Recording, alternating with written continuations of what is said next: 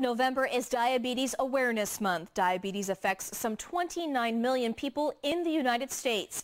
Working in partnership with our parent company, Sinclair Broadcast Group, we want to keep you informed about important health matters. We believe it's our responsibility and privilege. So new this morning in today's Sinclair Cares Report, Jennifer Gilbert explains how managing diabetes can mean the difference between life and death.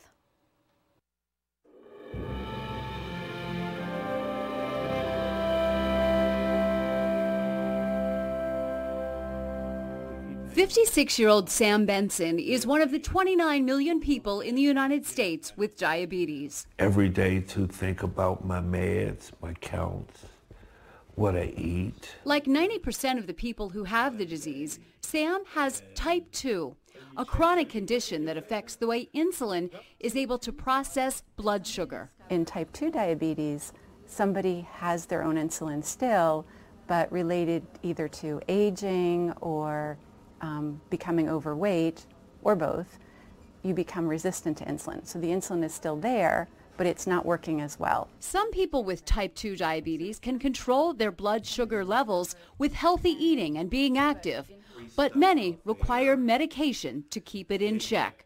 Sam admits that for years, he didn't know how to take care of himself. So I went for a while without taking meds. And that took a toll.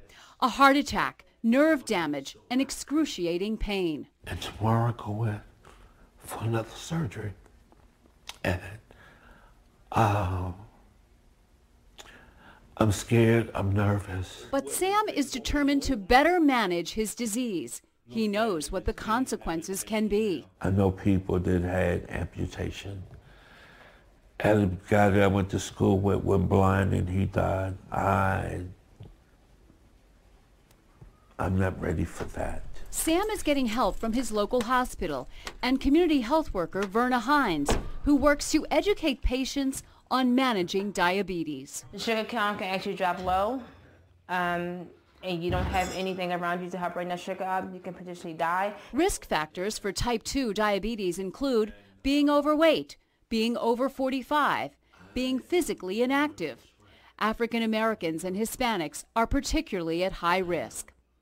Sam has now found the strength to rehab an old row home. So I'm very proud of, of the things that I've done. It took me two months to do this room. Just like he's rehabbing his health, one step at a time.